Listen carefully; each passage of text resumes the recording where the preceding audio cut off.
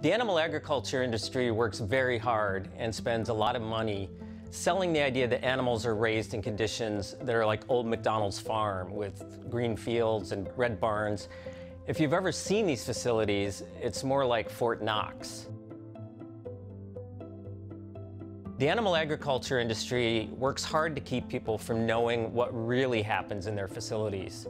And one way they've been able to do this is through the passage of laws that actually criminalize those who would tell the truth whistleblowers, journalists, undercover investigations, and so forth, and making it virtually impossible for people to know what's going on inside those facilities.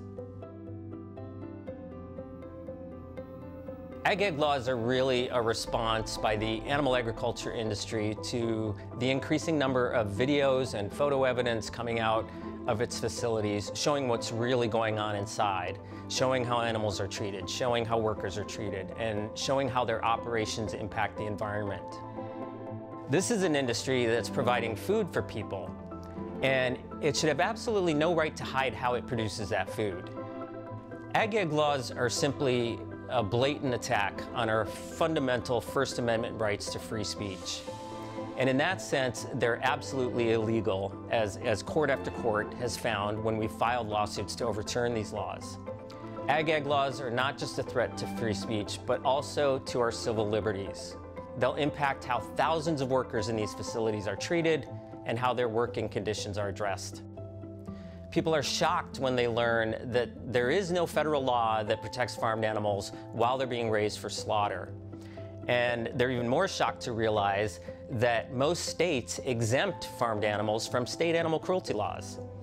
Instead, they let the industry define its practices and assume that all of those practices are not cruel to animals. And these practices have become standard industry practices that then, by definition, are exempt from animal cruelty laws. But that doesn't mean they're not cruel.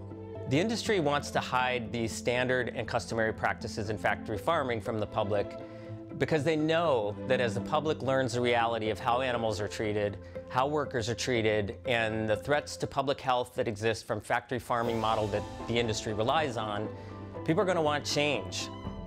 The Animal Legal Defense Fund will continue to fight ag-gag laws all across the country, and we need your help to pass laws that better protect farmed animals.